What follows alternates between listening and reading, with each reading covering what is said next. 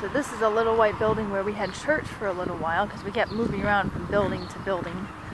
We tried to get into another building, the Masonic Temple building, but we could not get in. I don't know if we'll be able to get into this one either. It's an insurance office of some sort.